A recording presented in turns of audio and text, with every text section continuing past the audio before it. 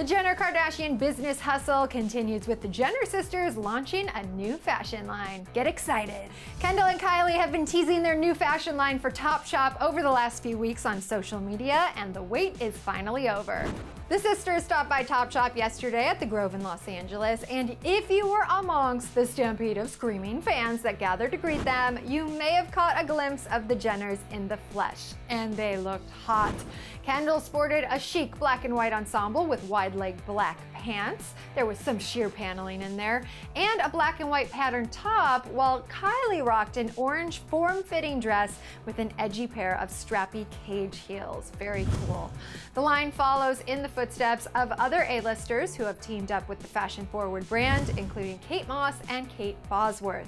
But Topshop is not the Jenners' first time lending their style expertise. They also have had a line at PacSun for the past few years. Kylie showed some love to her screaming fans who patiently waited for her arrival outside the Grove Topshop store by posing for a few tongue-out selfies, which she posted to her Instagram with the caption, I'm crazy, hashtag love.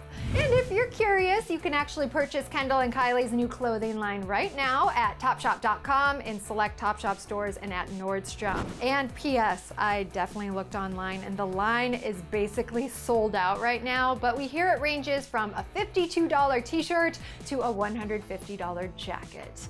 So are you guys excited to see the new Kylie and Kendall line? Sound off in the comment section below and be sure to tweet me at Dana Ward Online. And do not forget to subscribe and then you can click right over here to check out a rundown of little known facts you may not know about Kendall Jenner. Thanks so much for watching Clevver News. I'm Dana Ward and I'll see you soon.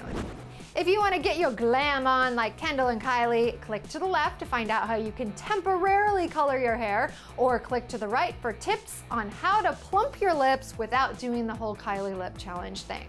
Seriously, don't do it.